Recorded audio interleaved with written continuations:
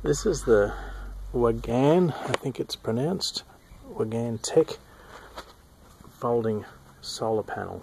It's 100 watts and I intend to take this with me on my trip when I um, go for a bike ride and camp. Um, and I'm seeing whether it could actually power the 817 directly. Now, what I've got is the power from the solar panel. It's coming to this setup, which is a little 3 amp buck regulator. I've got it there going through a 3 amp fuse just to be on the safe side and bringing that out to the FT817 plug. Just a second, I'll um, I'll show us I'll show you what the voltage is that's coming off these panels directly. So a very sunny day here in Melbourne, and um, we're getting 17 and a half volts, which is about what I expected.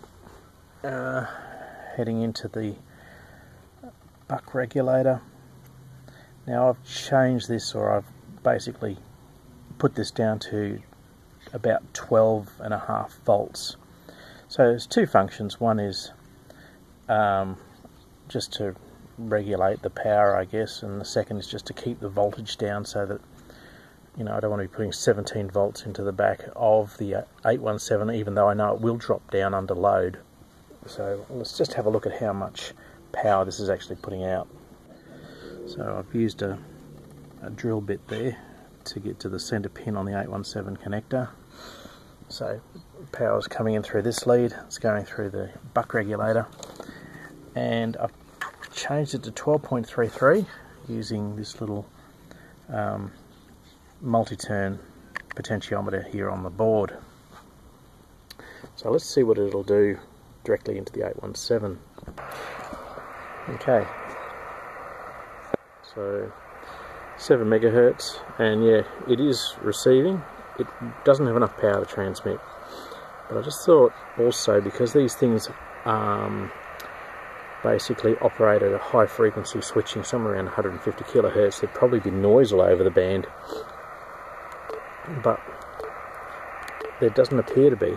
These are just a inverter you can get for a few dollars on eBay. You see hundreds of them from China. I'm not getting any noise on any of the bands.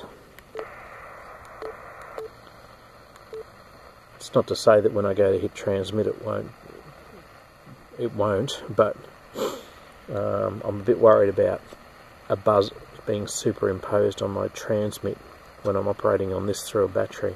It means that I can listen without draining my batteries and do band scanning on the solar panels and then flick to the battery when I actually need some grunt. Yeah, so that's my plans.